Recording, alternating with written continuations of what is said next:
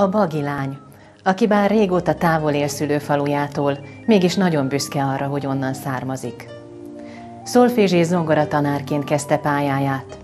Volt művelődési házigazgató, kulturális tanácsos, a Duna Televízió elnökének személyi titkára, jelenleg pedig a Nemzet Televíziójának stratégiai igazgatója. A nézők a Kívánságkosár, az Etnoklub és a Nyelvőrző című műsorokból ismerhetik.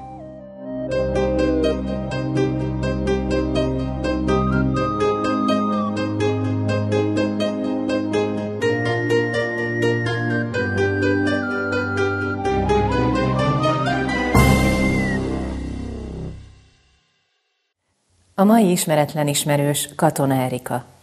Szervusz Erika, nagyon örülök, hogy elfogadtad a meghívásunkat. A Bagi lány elnevezés nem véletlen. Ugye, amikor ö, ismert lettél, akkor te tudatosan ö, gondoltál arra, hogy Bagot is megismertesd az emberekkel? Tehát ez tudatos volt számodra? Nekem eszembe sem jutott az, hogy ne mondjam azt, hogy én Bagi vagyok. Tehát fordítva közelíteném meg a dolgot. Ö, és nem is az ismertséghez kötném, hanem azokhoz a pillanatokhoz, amikor először beléptem a Duna televízióba, és akkor ott be kellett mutatkozni. Bár akkor én már körülbelül 6-6 és fél éve Sziget-Szent Miklóson éltem, de nem tartom magam Sziget-Szent Miklósinak, és amikor bemutatkoztam, hogy Katona Erika vagyok, Bagi, akkor nagyon sokan tágra nyílt pupillával néztek, hogy Bagi, és ez hol van, Bag, és akkor mondtam, hogy Bag, Hévíz jött mellett, Hévíz, Hévíz, akkor a Balaton mellett, és megdöbbentem, hogy Úristen, hát 39 kilométerre, 40 kilométerre van a település a, a fővárostól, és ez Budapesten kérdezik tőlem, tehát hogy jól hallok. Na és akkor, akkor azt, azt ö, ott volt egy ilyen pont, hogy elhatároztam, hogy hát akkor innentől kezdve mindenki meg fogja tanulni. hogy bak hol van. hogy bak hol van. Egyébként már elértem azt, hogy olyan kollégáim, akik az M3-as autópályán haladnak épp Debrecenbe vagy Erdély felé, mindannyian integetnek a Bagi templomtoronynál, mert tudják, hogy én ott lakom, és olykor SMS-t is küldenek, és csak ennyi van az SMS-ben, bag. És akkor én tudom, hogy valaki ott halad el. Most is látod, azt mondtad, hogy, hogy ott lakom, pedig nem ott laksz. Tehát ez valamilyen szinten úgy érzem, hogy nagyon meghatározó élmény volt számodra Bagon eltöltött gyerekkor. Igen, 24 éves koromig, gyermek és ifjúkor, 24 éves koromig éltem Bagon, és, és ez, tehát ez jó, jó ez a megérzésed valóban. Nekem nagyon-nagyon fontos volt az, hogy, hogy milyen családban nőttem fel, de ez mindenkinek fontos, csak azt gondolom, hogy én rendkívül jó dolgokat kaptam, szerencsésnek mondhatom magam. Tehát Szerintem engem azért tenyerén hordott a Jóisten, akár a szüleimre gondolok, édesanyámra, édesapámra, vagy a nagyszüleimre akik közül különösen egyel volt nagyon, nagyon közeli kapcsolatom, ő az anyai nagyanyám aki Hévíz György származású, de, de aztán Bagra jött férhez. Milyen volt a gyerekkorod? Hm. Gyerekkorom? Hát most azt mondtam, hogy, hogy, hogy nagyon jó élmények értek, e, de azért volt, volt benne persze olyan is, amire kevésbé emlékszik szívesen vissza az ember. De azt, azt gondolom, hogy olyan különleges örökséget kaptam, ami, ami eleve elrendelte azt például, hogy az első diplomám szerint tanító lettem.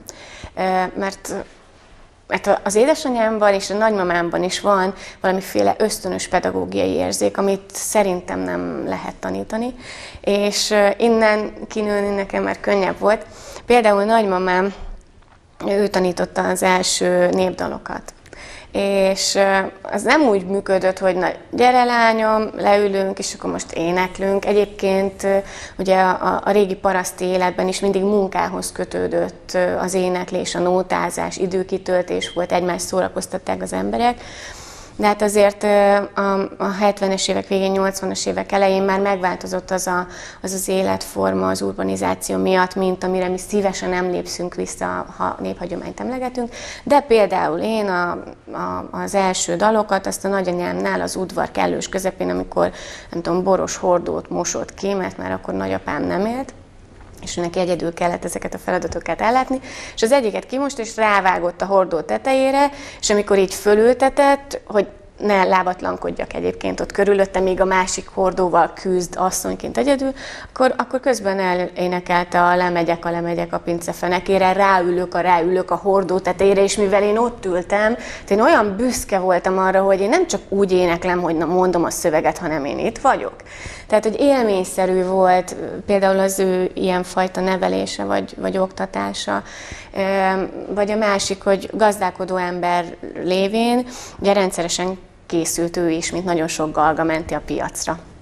És hát utólag, tehát már, tinédzser voltam, amikor azt mondtam, hogy ne egyen meg, hogy ez nekem, nekem akkor nem esett le, vagy nem jutott volna eszembe, segítség kellett volna neki, de nem volt más a családban, aki ráért volna, és én, én sertepert értem körülött, és azt mondta, hogy édes, ezeket a petrusokat csak a te kis ujjaddal lehet összekötni. Petrus, petrezselyem, hogyha valaki a fiatalok között, közül nem ismerni ezt a kifejezést, de biztos, hogy mindenki megtanulta a nagyszüleitől. Szóval ezt a petrust, ezt csak te tudod ezzel a vékony kis cérnával ügyesen összekötni, hogy Pesten a piacon jól el tudjam adni, és ettől, hogy azt mondta, hogy ezt csak én tudom megcsinálni, Hát szárnyaltam. Hát, mint, mint aki szalagon dolgozik, úgy kötözgettem uh-huh. a mhm. Petrust, aztán rájöttem, hogy persze ő időközben megmosta a krumplit, megszárigatta a zsákolta, tehát kemény fizikai munkát végzett, ő is készült, de hát időközben azért erős motivációval készített engem munkára. És ezért nagyon, nagyon fontos szerintem a, a gyerekek életében a, a munka és a munkára nevelés.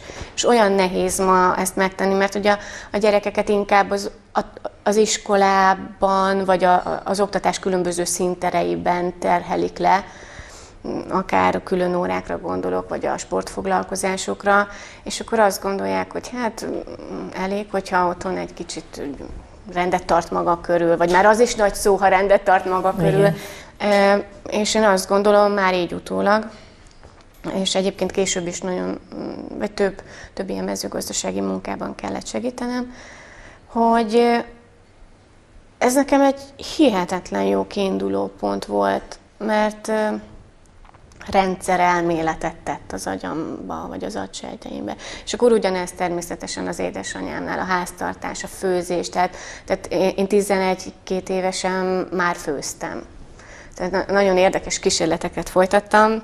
Például? Tehát, ez nem volt egyszerű, mert, mert édesanyám szakácsnő volt az Aszódi Petőfi Sándor gimnáziumban, aztán később ott élelmezés vezető lett. Egyébként nagyon büszke vagyok az anyukámra, mert 55 éves volt, amikor a Soter dietetikai tanszékére járt. Tehát, tehát, hogy ő a 16 éves konyhalányból, hogy vált felsőfokú végzettségű élelmezés vezetővé, az, az számomra egy, egy ilyen hihetetlen életpálya. Az, hogy egy ember 46 évig van egy munkahelyen, én nem hiszem, hogy az én kortársaim közül valaki majd ezt elmondhatja magáról. Szóval ő, ő, ő olyan szeretettel viseltetett a szakmája iránt, hogy ez, ez otthon sem volt teher. Tehát nem az volt, hogy jaj, bent boldogan főzött, és akkor otthon már az nyűg, hanem, hanem én azt láttam tőle. Sőt, ahogy elmeséli, állítólag karon ülő gyermek voltam, és hát úgy kellett a nokedlit szaggatni neki, hogy én ott ültem a karján. Már akkor is élénk érdeklődést mutathattam, vagy nem akartam tőle ezt akarni, ki tudja. Szóval például édesanyámat szerettem volna meglepni, azt hiszem 11 éves már elmúltam, és Hát nyári szünetben kezdtem el főzőcskézni odahaza, és reggel, amikor ő 8 órakor elment, tudtam, hogy fél négy-négy óra körül fog begördülni a biciklivel hazafelé, és egész nap főztem levest, más, nem, azt hiszem másokat, nem, a leves az nehéz volt, a levessel kezdtem, és sütöttem. És nem sikerült az első körben eltalálni az arányokat, és úgy, ahogy volt, kihajítottam mindent a kert végére. És elmosogattam, és mindent elpakoltam. És édesanyám hazajött fél négykor, és ragyogott minden, mint hogyha semmihez nem nyúltam. És kérdezte, hogy mit csináltam, hát ezt, azt, azt csináltam. De én olyan fáradt voltam, annyira kimerült voltam, hogy egész nap sütöttem, főztem, de azt mondtam, hogy nem, azt, ami nem olyan lett, mint ahogy ő, ő készítette van, azt nem adom elé. Uh-huh. Úgyhogy nagyon, szerintem, szerintem ezek érdekes dolgok az ember életében, hogy hogy küzd meg a, azzal, hogy valamilyen szinten megfeleljen, mert hát Igen. mindenkiben van valamiféle megfelelési vágy, Hát a, a háztartás is kíván valamit, aztán ezt elég jó kifejlesztettem már mostanában. A család mellett azért meghatározó volt az iskola is. A, a bagi iskolai évek is meghatározók nagyon. voltak, ugye? Igen, nagyon, és a tanáraim a, a leg, legfontosabb, akit ö, elsőként említenék, az Fodor Mihály. Fodor Mihály volt az általános iskolai tanító bácsim. Ő volt az, aki, hát szerintem akinek köszönhetem azt, hogy én, hogy én televízió képernyőjére kerülhettem valaha az életben. Ugyanis hát én egyáltalán nem voltam egy ilyen beszédes alkat. Ezt most nehezen tudom elképzelni. Úgy képzeld el, hogyha hozzánk vendég jött, mondjuk általános iskolás koromat megelőzően, akkor én nagyon szerettem a felnőttek társaságában lenni, de némán. Ülve a sarokban hallgatni őket. Tehát ez egy nagyon jó, jó szórakozás volt, én egyáltalán nem untam. Még azt sem, hogy olyan dolgokról beszéltek, amit nem értettem, mert időközben megtanultam, vagy, lett valamiféle rálátásom az ő nagy felnőtt és titkos dolgaikra. Szóval, szóval én egy nagyon csendes gyermek voltam, és amikor első osztályos korunkban egy-két hónap után egy szülői értekezletet tartott a tanítóbácsi, akkor minden szülőnek mondott valamit a gyermekéről, hogy mit, mit lát, hogy fejlődik szeptember-október hónapban, milyen aktivitással vesz részt az órákban, és mikor édesanyámhoz ért, azt mondta, hogy hát az ön lányának a szemén látom, hogy mindent tud, de nem mer jelentkezni. Tehát, hogy egyszerűen nem meri fölemelni a kezét ahhoz, hogy elmondja a megfejtést. De ma történt valami. Azt mondjam, az ön lánya ma először hangosan nevetett. És, és, és ez is egy legenda nálunk odahaza, és hogy egy, egy tanárember, hát egy, egy hihetetlenül nagy lelke volt, sajnos már csak múlt időben tudunk beszélni róla, hogy ő ilyen érzékenységgel, ilyen részletekkel figyelt akkor egy első osztályos 6-7 éves kisdiákra. Ma is borzongok, amikor, amikor erre gondolok. És ő úgy, úgy vitt a színpadra, hogy szerintem megtalálta az egyetlen hozzám vezető utat. Mi volt az? A zene. Uh-huh. A zene. Mert összeeszkábált négy deszkából egy keretet, körülbelül 6 darab vagy 8 darab százas szöget belevert így egymással szemközt, a saját készletéből ilyen horgászdamilt kötött rájuk ezekre a szegekre, és elkészítette a, a hárfát. Ez volt a mi bagi hárfánk, vagy az enyém, mert hogy nekem volt a színjátszókörben. Az egész osztály színjátszós lett nálunk egyébként. Uh-huh. Szóval nekem volt ez a hangszerem, és azt mondta, hogy a színpad végénél kezdjem el pengetni. Csak szépen, ügyesen. És lépjek előre. És még egyet. És még egyet. És térdeljek le. És a színpad elején térdeltem, és ott kellett mondanom a szöveget, úgyhogy mindenki a hátam mögött volt, tehát egyetlen társamat sem láttam magam mellett, és nem éreztem biztonságban. Szinte beletolt a nézők arcába, és azt mondta, hogy na most akkor mond nekik ez, ez, ez volt az áttörés az én, én színpadi életemben, és utána a, a versmondás az, az soha nem okozott olyan görcsöt, hogy én ott, ott ne szívesen szerepelnék. És hát nagyon sok köszönettel tartozom neki.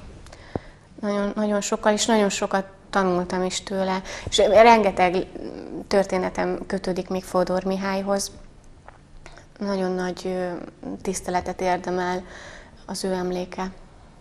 Ekkor, amikor színjátszókörbe jártál énekelni, illetve hát zenélni is tanultál már? Tehát... Nem. Az később jött, a zongora? De az is hozzá kötődik Fodor Mihályhoz. Mert Bagon a művelődési házban volt a színjátszó tanfolyam minden kedden és csütörtökön délután fél háromkor, és az egyik ilyen ö, alkalomra jött, és a kezében volt egy ilyen stóc papír, és kiosztotta. Mondta, hogy most vigye haza mindenki, töltse ki, írassa alá szülővel, és hozza vissza. Ez volt a zeneiskolai jelentkezési lap. És ahányan ott a színjátos csoportban és az ő osztályában voltunk, mindannyian előkészítő szakosok lettünk a, a zeneiskolában. Mert hogy ott a, a zeneiskola, vagyis a művelődési ház udvarában volt a zeneiskola is, és látta, hogy egyedül ott ül a zongoratanárnő, nincs elég tanítványa, kicsit szomorkodott is, unatkozott is, Vendleri Bolyának hívták akkor a zongoratanárnőt magam, és ő beiskolázta az egész osztályt úgy, hogy senkinek nem volt zongorája a faluban. Tehát egyiküknek sem, de ugye első osztályban az, arra, vagy az előkészítőben nem is volt arra igény, vagy nem volt arra szükség. Aztán így alakult, hogy nagyon-nagyon, hát 24-en voltunk mind zongoraszakosok, aztán persze évről évre egyre kevesebben, egyre kevesebben, és egy idő után én azért ennek a pillanatnak köszönhettem azt, hogy, hogy, hogy tanár lehettem, vagy helyettesíthettem valakit, uh-huh. és mhm. akkor így kerültem kapcsolatba a zongora és szolfés tanítással később. Hévíz Györkön tanítottál, ugye? igen, igen, az Aszódi Zeneiskolának a Hévíz Györki tagozatát vezettem. De akkor még nagyon fiatal voltál.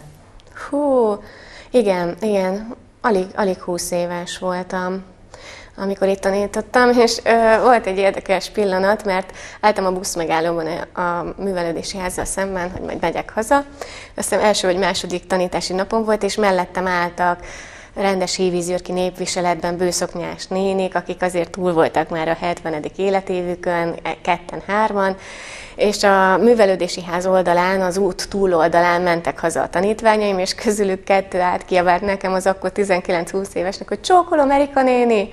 És akkor azt éreztem, hogy igen, eltelt már néhány évtized az életedből, most megérdemelted most fel. Úgyhogy ez egy ilyen furcsa szembe, szembesülés volt a, a, a kor előre haladtával és a viszonyokkal, hogy akkor tanár és, és gyermek. Egy picit viszont menjünk vissza időben, mert eh, elég sok eh, riportot és interjút elolvastam, ami veled készült, viszont sehol nem említetted a gimnáziumi éveket. Nem, nem voltak meghatározóak? De, de szerintem emlegettem is, legalábbis én, én emlékszem olyan nyilatkozatomra, Gödölőre jártam a Török Ignác gimnáziumba, és akkoriban még volt a gimnáziumban óvónőképző szak, és én óvónőnek készültem, tehát én, én nagyon szerettem volna pedagógus lenni, és azért akartam óvónő lenni, mert az én Marika óvónénimnek, Pávics Lászlóné Marikának volt egy karika fülbevalója, és ez nekem nagyon tetszett. És azt gondoltad, hogy ha óvónő leszel, akkor neked is lesz karika fülbevaló? Előbb volt karika fülbevaló, mint ahogy óvónő lettem, mert annyira szerettem volna ráhasonlítani. Nagyon kedves, szeretetteljes, tehát így árad belőle a szeretet. Később, most jelen pillanatban tanít a Bagi általános iskolában, de nagyon-nagyon sok gyereknek volt ő az óvónője. És Hát nem, nem tudom, nekem az életemben mindig, mindig valami, valahogy így a szeretethez kötődik, tehát ahhoz az érzéshez, aminek, a, amiből úgy töltekezik az ember, és én olyan nagyon intenzív sugarakat éltem meg. És például Marika nénitől is azt, azt éreztem, nem régiben találkoztam vele, és elmesélt egy történetet, amit, amit soha nem tudtam eddig, tehát több mint 30 év telt el. Azt mondta, hogy én minden reggel, amikor ő beérkezett a csoportszobába, akkor kikészítettem neki a, a benti papucsát, és amikor levette a lábáról a, a, az utcai cipőt, és bebújt a papucsba, addig a derekát simogattam. Tehát ez nagyon tetszett nekem, és így, egy utólag ezt bevallom. Tehát biztos, hogy kölcsönös volt ez a szeretet, ez az egymás iránt tanúsított szeretet. Szóval visszatérve a középiskolára, nagyon is meghatározó volt a középiskolai életem is és ott is egy tanár, akit úgy hívnak most, hogy dr. Langer Katalin, most már közgazdász doktor lett az akkor pszichológia-pedagógia szakos osztályfőnököm, aki, aki szintén valamilyen furcsa, és az osztályfőnökösségen és a pedagógia-pszichológia szakos tanárságon túl egy plusz pozitív emberi kapcsolatot alakított ki velem, illetve én alakíthattam ki vele, tehát engedett magához közel kerülni. És ennek pedig egy nagyon-nagyon különleges oka volt. Két gyermeke van ennek a, a tanárnőnek, és a, a fiatalabb gyermeke, egy fiú, autistaként, nem beszélő autistaként jött a világra. És akkor, amikor én középiskolás voltam, akkor ez a kisfiú, hát nem is tudom pontosan, de olyan 6-7 éves lehetett és, és a mai napig nem tud beszélni. De a családjával élt, őt nem adták be otthonba, nem került nevelőszülőköz, hanem az eredeti családjában, az eredeti környezetében élt. Egy olyan családban, ahol a férj eljárt dolgozni, ahol a feleség eljárt dolgozni, a nővére iskolában járt, és egy speciális intézményben tanult ez a kisfiú. Gödöllőn van egyébként olyan oktatási intézmény, ahol autista gyerekekkel szakképzett pedagógusok foglalkoznak, foglalkoznak, de, de nem reggeltől estig. És valójában soha nem kérdeztem meg, hogy miért, de Kati néni, Langer Katalin engem és egy másik osztálytársnőmet, aki egyébként a legjobb barátnőm volt, gyakran megkért, hogy vigyázzunk a, erre a kisfiúra, a gyermekére. És a, az autizmusnak na, biztos, hogy nagyon sokan hallottak már róla, a televízió nézők közül is látták a Rémen című filmet. Valójában Magyarországon akkor alakult ki valamiféle fogalom, amikor a Rémen megjelent és levetítették a mozikban. Addig senki nem tudta, hogy hogyan kell kezelni ezt a zárt belső világban élő e, embercsoportot, vagyis hogy embereket, mert tudjuk pont, hogy, hogy, hogy egyénileg érzik jól magukat. És ez a kisfiú, akiről én beszélek, hihetetlen őrjöngő, észveszejtő tüneteket volt képes produkálni. Télen, hóban, ha vittem haza az iskolából, képes volt a hóban a járdán fetrengeni, és alig tudtam fölállítani, mint, mint hogyha valamiféle rohama lett volna, és nagyon sokat kellett hozzá beszélnem, és, és ilyen hatalmas szorongásra és stresszel vittem haza gyalog az iskolába, de ha hazaértünk, ott volt a nővérének a zongorája, és a klasszikust játszottam, Haydn, Mozart vagy Beethoven-t. Beethoven volt a leg kedvesebb számára, akkor lecsillapodott.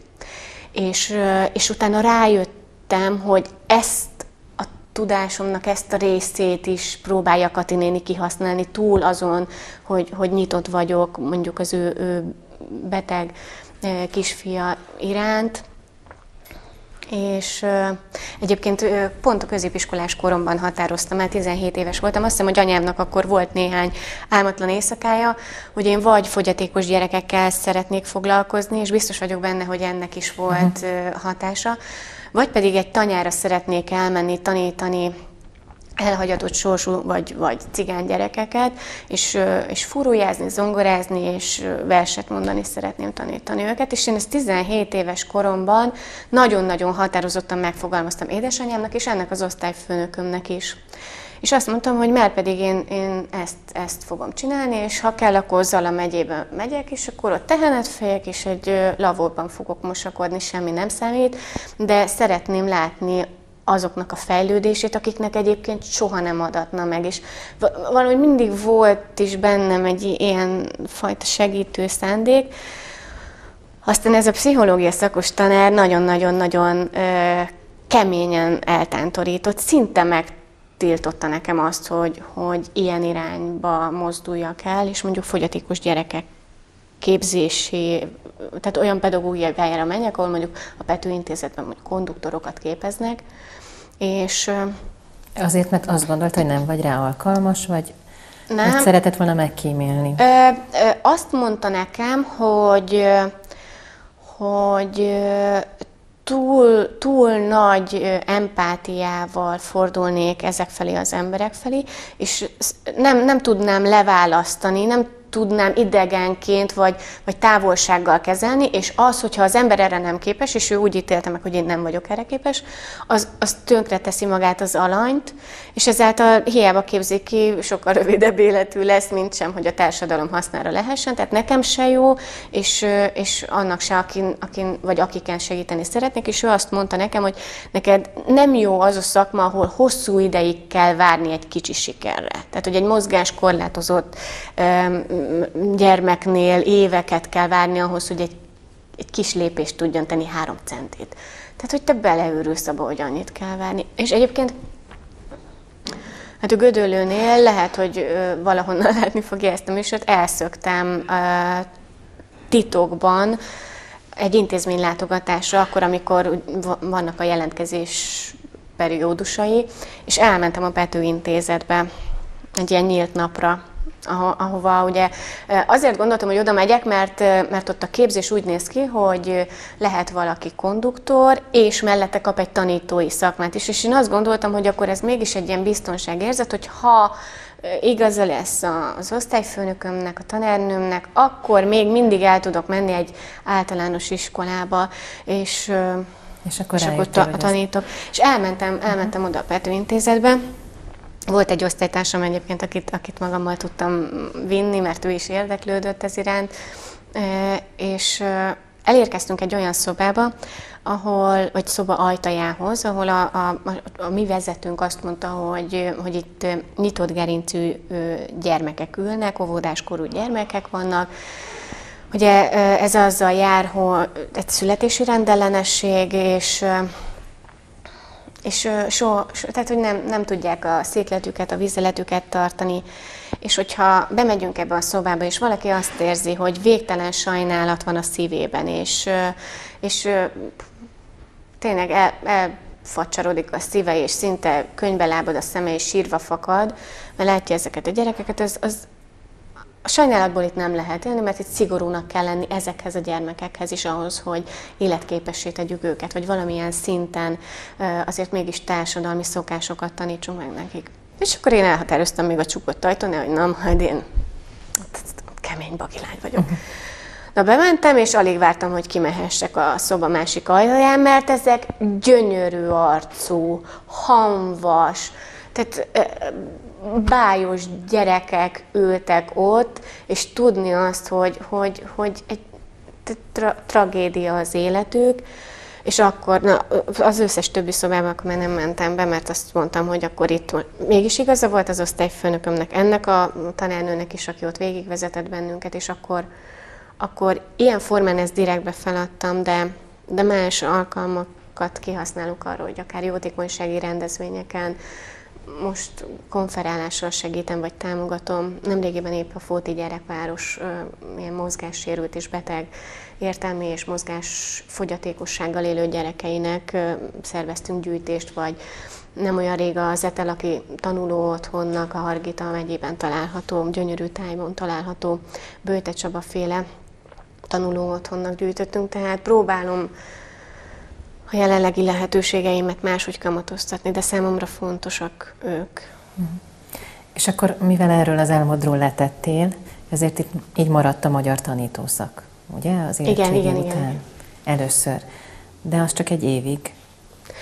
Nem. Nem, nem, nem, magy- igen, magyar énekszak, ugye? Igen, magyar Először. énekszak volt Egerben, aztán, aztán hazajöttem, akkor kezdtem tanítani itt Hévízgyörkön, és a Hévízgyörki tanítás mellett kezdtem el a budai tanítóképző magyar szakot, uh-huh. aztán később, az már sziget Miklóshoz kötődik, amikor az egyetemre jelentkeztem bölcsész szakra, kommunikáció, nemzetközi kommunikáció és elektronikus média szakirányon diplomáztam az egyetemen.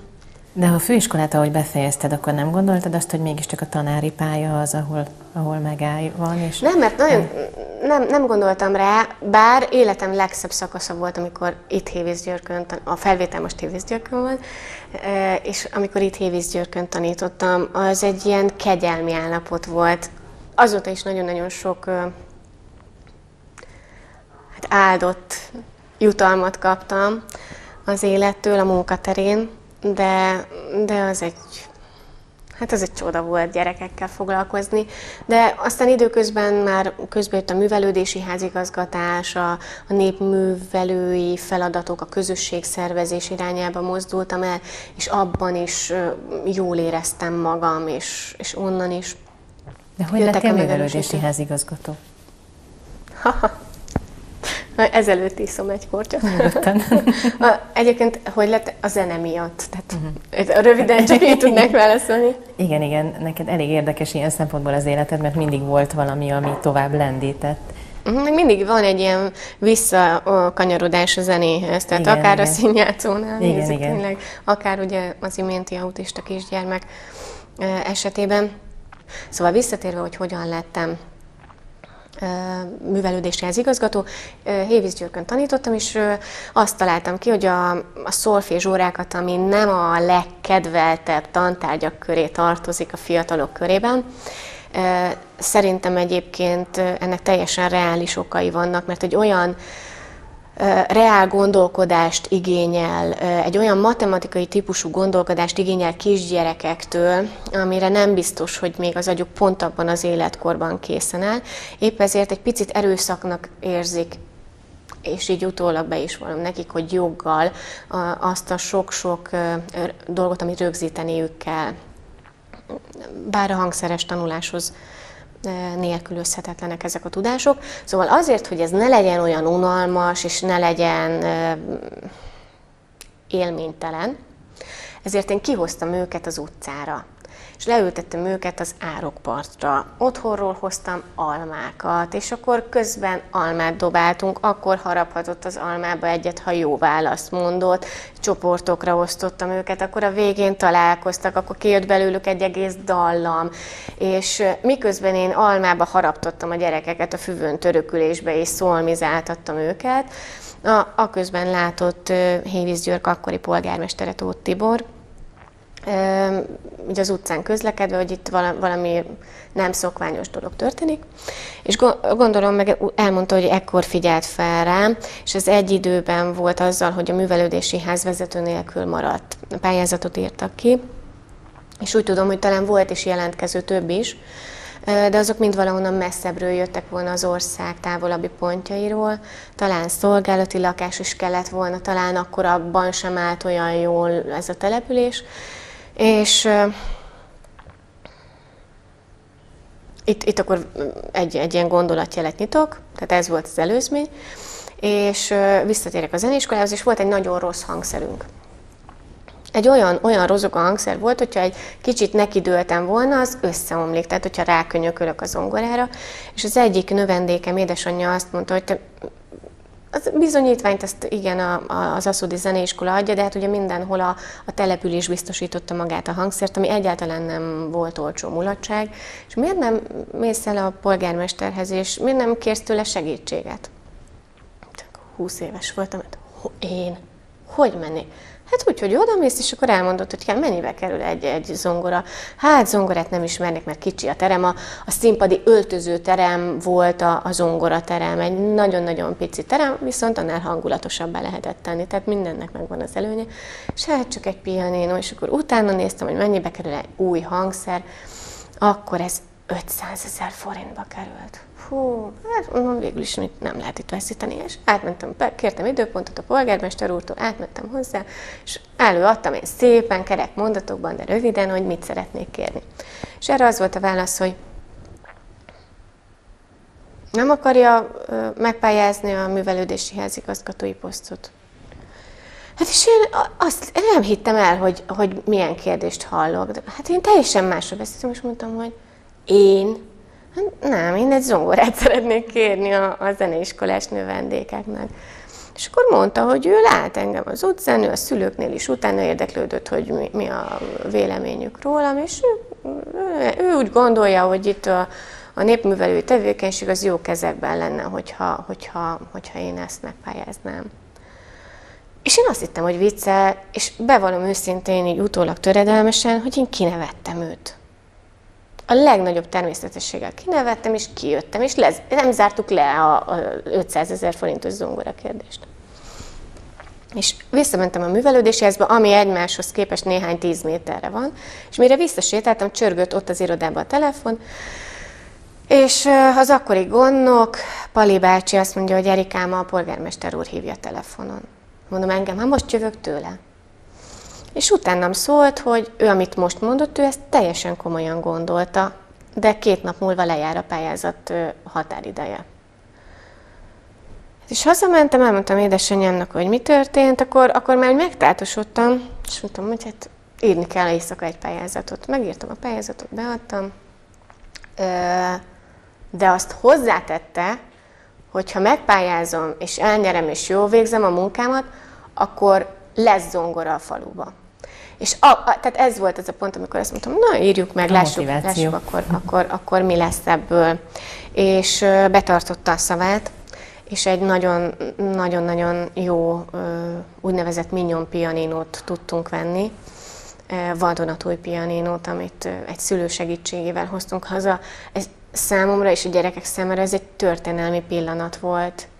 Tehát egyszerűen, egyszerűen hihetetlen volt, hogy, hogy valaki ilyen, tehát, hogy ilyen gyorsan és belássa azt, hogy igen, ez most akkor itt 30 vagy 40 gyerek gyakorlását Fontos. és mindennapjait, és utána, hogyha előadó művészt hívtunk, ugye kísérő hangszerként, hogy, hogy valaki ekkora összeggel támogassa ezt. Tehát én olyan boldog voltam, és, és akkor, akkor persze elnyertem a, a, az igazgatói posztot, és akkor voltak segítőim, nem, nem hagytak magamra.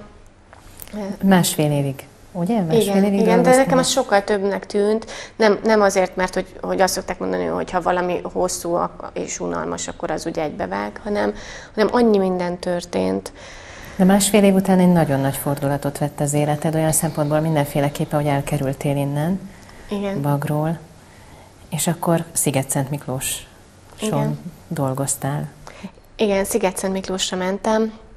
Én döntöttem úgy, hogy, hogy szeretnék tovább lépni, bár itt, bár itt nagyon-nagyon-nagyon szerettek a nyugdíjasok és a fiatalok is.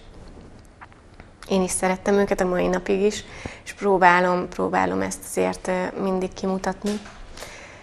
Meg a lehetőségeimhez mértem megragadni azokat az alkalmakat, amikor őket helyzetbe tudom hozni, de elmentem Sziget-Szent Miklósra, és ott is pályáztam az önkormányzatnál egy ilyen kulturális vezető tanácsosi állást. És egyébként nagyon érdekes, mert két nappal a pályázat beadásának a határideje előtt adtam be oda is a pályázatomat. Tehát, hogy, hogy ez, ez is egy ilyen visszatérő. Igen, és sikeres lett. Igen. Ö, És miközben Sziget-Szent Miklóson dolgoztál, elvégezted az egyetemet. Igen. Ugye mondtad, hogy, hogy amióta Fodor Mihály a színpaddal megismertetett közelebbről, onnantól kezdve már egyenes utad volt a, a televíziózás felé, egyre inkább vonzottál, de mégis miért voltál benne, benne biztos, hogy ezt el kell végezned? Ö, Ne, valójában, amikor jelentkeztem az egyetemre, én nem akartam televíziózni. Nekem eszembe mit se jutott. volna? Én rádiózni akartam. Uh-huh. Ne, nekem az volt egy ilyen sejtelmes vagy titokzatos dolog, és ez a szak együtt volt, tehát rádiós és televíziós ismeretek, tehát az elektronikus médiát, azt egy, egy szakban bocsátották a hallgatók rendelkezésére.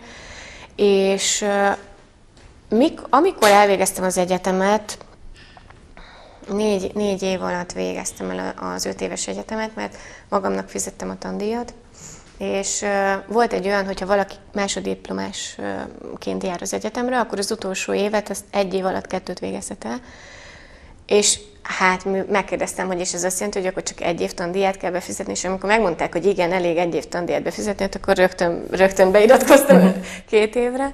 Szóval amikor a négy év, a negyedik év vége felé közeltem, akkor pedig az osztálytársaimtól, a csoporttársaimtól hallottak alapján szinte biztosan tudtam, hogy, hogy én nem akarok televízióban dolgozni, mert olyan dolgok jutottak el hozzám, azt mondtam, hogy én képtelen lennék ilyen vagy olyan megfelelésre, és nem is vágyom arra, hogy, hogy, hogy, hogy megalázó helyzetekben kelljen bizonygatni a, a tudását az embernek, vagy leckésztessék, vagy nem tudom, négy kézláb kelljen kúszni egy kamerába. Volt ilyen gyakorlatunk, tehát azért mondom ezt konkrét példának, hogyha valaki, nem tudom, késett az óráról, akkor azt simán ö, így megleckésztették. És azt mondtam, hogy azért ez, ez nem kellene, és nem is gondolkoztam azon, hogy bárhová jelentkezzem. De a csoporttársaim között nem volt Duna televíziós.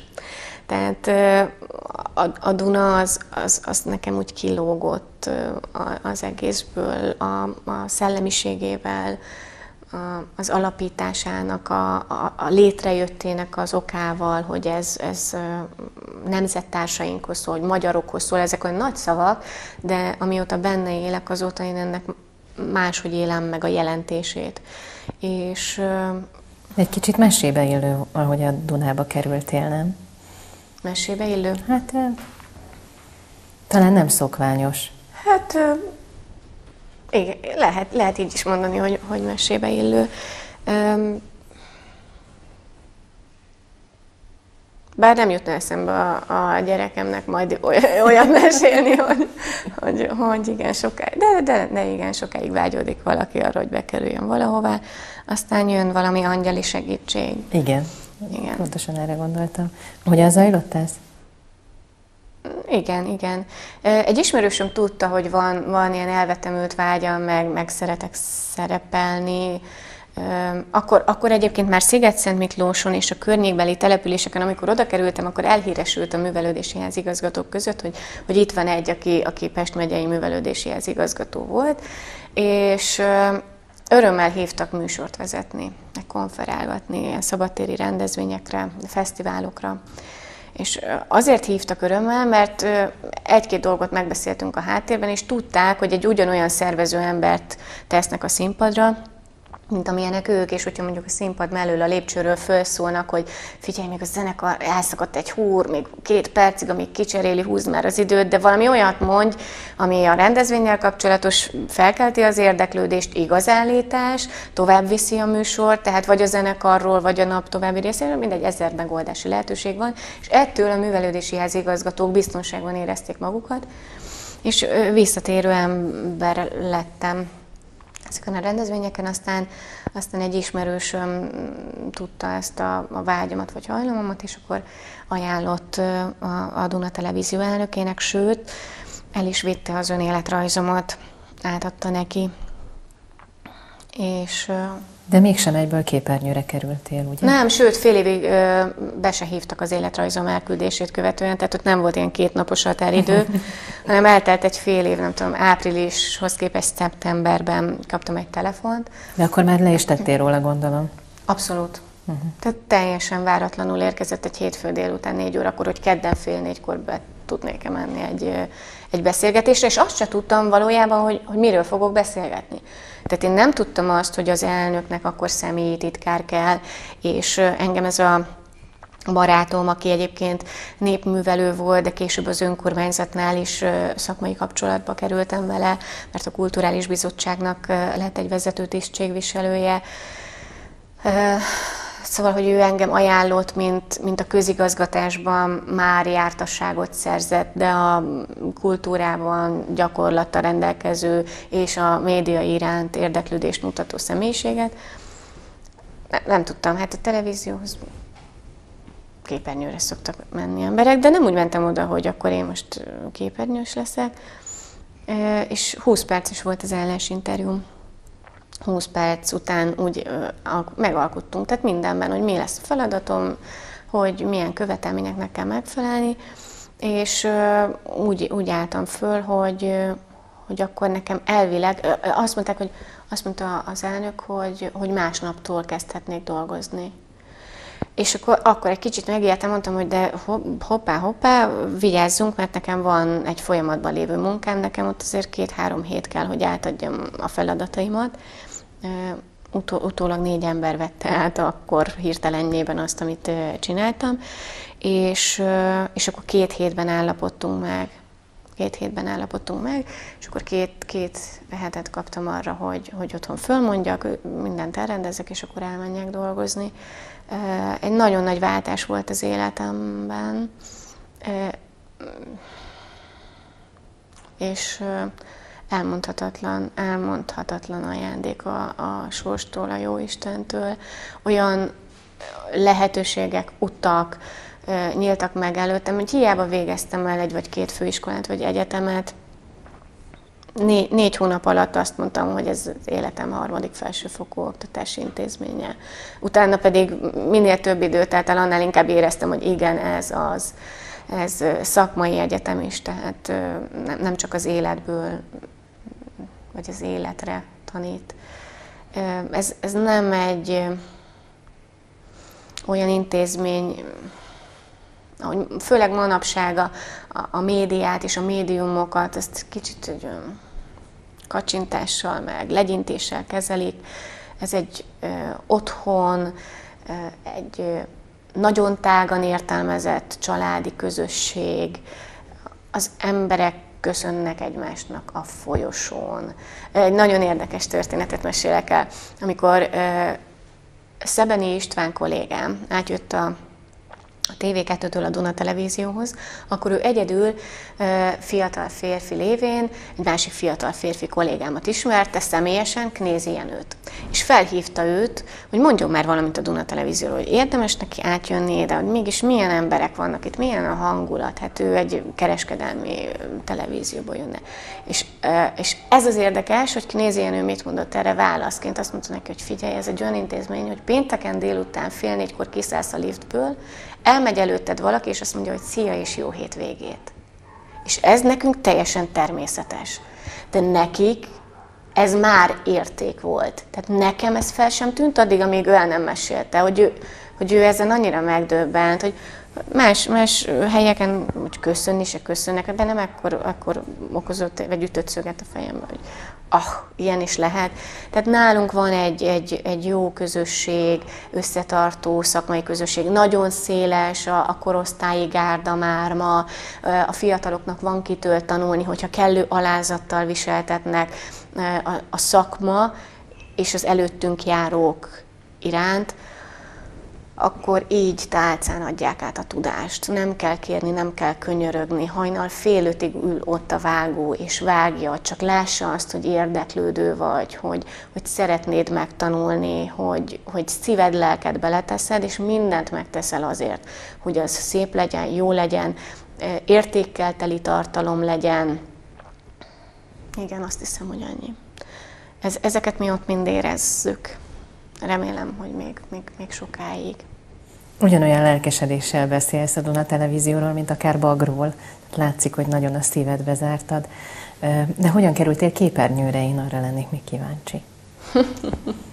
Mert hogy ugye először személytitkár voltál. Igen, először személytitkár, tehát akkor jött ez a, a közigazgatásban szerzett gyakorlat, aztán egy, alig telt el egy év, vagy egy év és egy-két hónap, és kabinetfőnök lettem, tehát ott a, az elnökséget, az elnöki irodát, a titkárságot, a jogi irodát vezettem, és 2009-ben lettem stratégiai igazgatója az intézménynek, és erre mikor is 2007-ben volt 15 éves a Duna Televízió.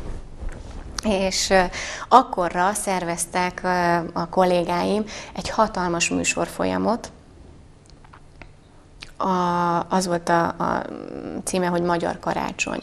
Ugyanis a Duna Televízió 1992. december 24-én karácsony szentestéjén délutánján kezdte meg a, a sugárzását, és nekünk mindig szenteste van, a Szent Család ünnepén, a születésnapunk, most volt 18 esztendős az elmúlt évben a Duna, tehát már nagykorú, és amikor 15 éves lett, akkor az egy olyan szép szám, jubileumi, félig kerek, hogy elhatározták a vezetők, hogy egy ilyen öt kontinens magyarságát összekapcsoló műsorfolyamat szerveznek, mivel hogy bennünket néznek mind az öt földrészen az ott élő magyarok, és ehhez már a karácsonyi időszakot megelőzően elküldtek kollégáimat a képernyős arcok közül a, a, a legismertebbeket, a leginkább szeretetteket, és, a, és akkor a legügyesebbeket a különböző országokba.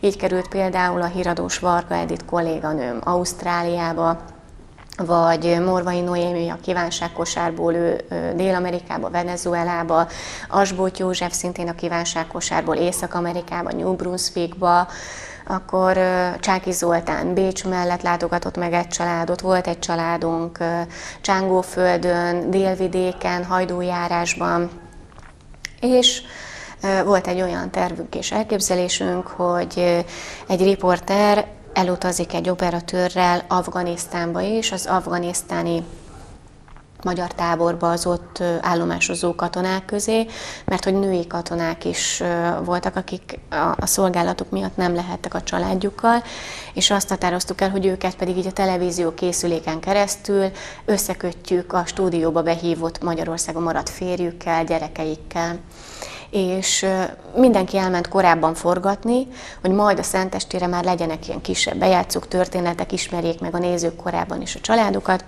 és Afganisztánba ment volna egy nagyon tehetséges kollégám, aki az utazását megelőző napon felmondott és december 17-én egy hétfői napon felmondott, hogy január 1-től egy másik kereskedelmi, egy, egy kereskedelmi televíziónál szeretne dolgozni.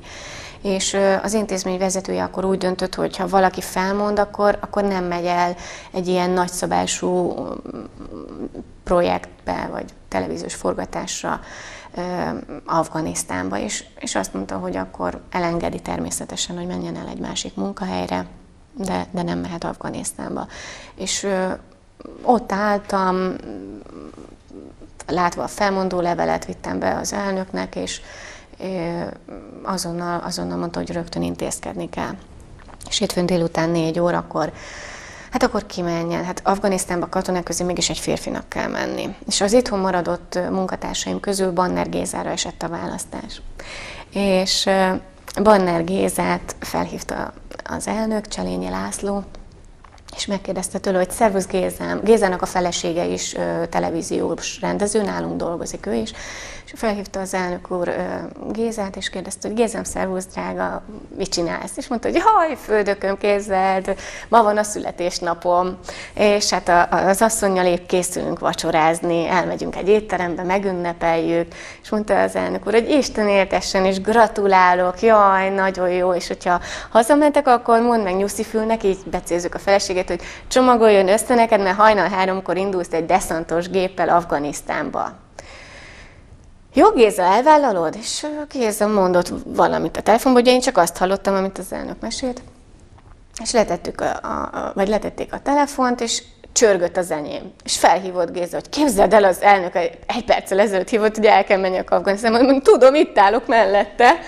De most mit csináljak? Hát mondom azt, amit mondott, menj el vacsorázzál, lakjál jól, mert utána indultok, addig nekem el kell intéznem, hogy te felszállhass arra a deszantos gépre, ugyanis az a kolléga, akit mi eredetileg terveztünk, ő oltásokat kapott, meg volt minden irata, engedélye, nem lehet akárhogy bemenni egy ilyen katonai bázisra, és ezen a délután négy órakor a produkció gyártás vezetőjével elkezdtünk ezen hihetetlenül keményen dolgozni, és két óra alatt, két-két és fél óra alatt sikerült elintézni azt, hogy ő a katonatisztekkel kerüljön szállodába, tehát ne a bázison legyen, hogy a katonatiszteknek járó konzervvizet ihassa, azokat az ételeket ehesse, hogy nehogy valami fertőzést összeszedjen, és, és elutazhasson.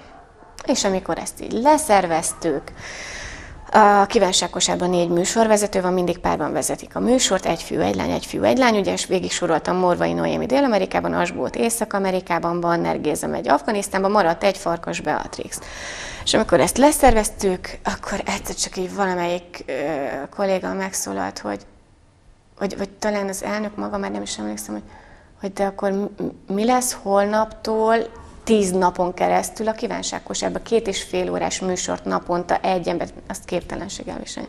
És így rám nézett, és azt mondja, maga. Akkor most maga fog beugrani. Na, így kerültem két ternyőre.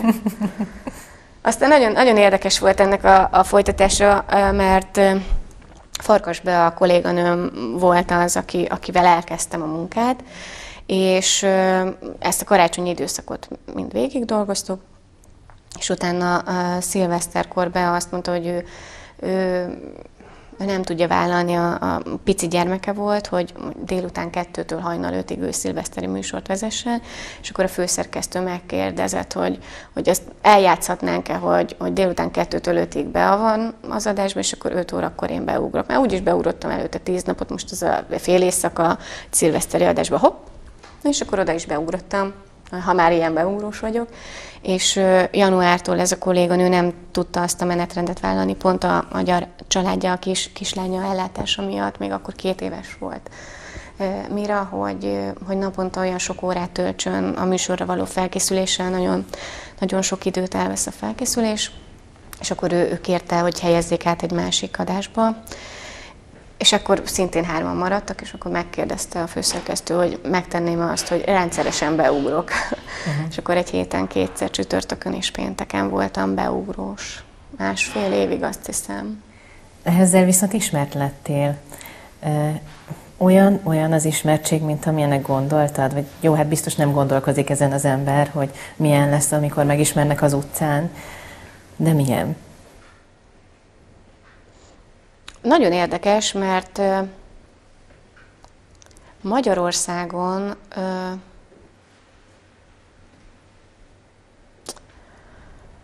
Magyarországon semmi, tehát nem mondom, hogy semmi különös nincs benne, de de hogy kedvesek az emberek, van, aki oda mer jönni hozzám, van, aki csak messziről néz, és odasúg a, a férjének, hogy, hogy ő, ő, ő a katonárik a Duna televízióból. Számomra a, az ismertségnek a határon túl érezhető varázsa az, ami, ami hát azt úgy szeretném, hogyha mindenki egyszer úgy öt percre kipróbálhatná, hogy, hogy Székelyföldön kiszáll egy autóból, és és úgy jön oda hozzám egy idős néni, vagy épp egy fiatal kisgyermek, mint hogyha világ életében ismert volna, mint hogyha a családtagja lennék, hogy leveleznek velem olyan nézők, akikkel soha az életben nem találkoztam. Amerikából, Ausztráliában, Ausztráliában nem is találkoztattam velük, mert életemben nem jártam Ausztráliában. Kanadából, Németországból, az, hogy volt szerencsém eljutni nagyon sok helyre a, a, a világban, és amikor mondjuk tízezer kilométerrel odébb Los Angelesbe leszállok a, a repülőgépről, és először járok abban az országban, abban a városban, és a repülőtéren nem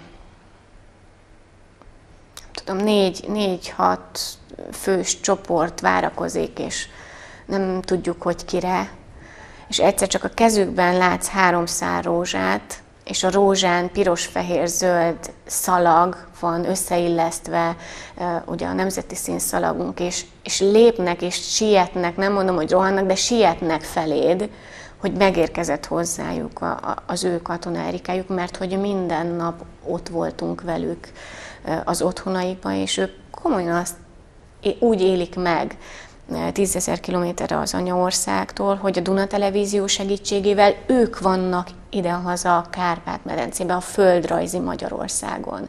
És amikor ezt először megérzi az ember, hogy amit kimondasz, annak olyan mérhetetlen súlya van, tehát amellett más nem, nem jut el. Tehát ott az alap az, hogy a Duna Televíziót minden család, minden magyar család nézi. Az esti mesének, hát annak az estimese olyan becsben van tartva, mert hogy a gyerekek ott tanulnak meg magyarul. Tehát nem mindegy, hogy milyen szinkron hangon, nem mindegy, hogy milyen hanglejtéssel mondja épp a narrátor a mesét.